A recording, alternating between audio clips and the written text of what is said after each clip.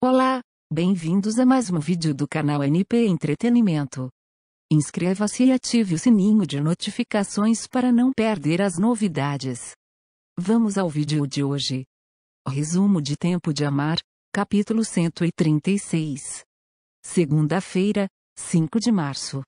Alzira sofre com a expulsão da Sociedade das Geleias e Celina lamenta pela mãe.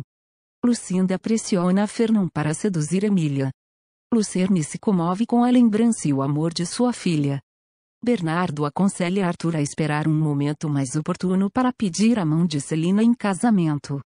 Celina afirma a Balbina que apoiará ao contar a verdade para Pepito sobre sua origem.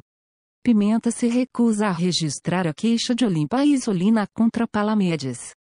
Um jornal divulga uma matéria sobre o assédio sofrido por Olímpia. Balbina confessa a Alzira que Pepito é filho de Bernardo. Celeste aconselha Alzira.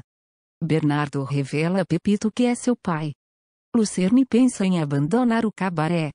Teresa alerta José Augusto sobre os investimentos de Delfina. Inácio procura Lucinda. Por hoje é só. Deixe seu gostei e seu comentário. Obrigada e até o próximo vídeo.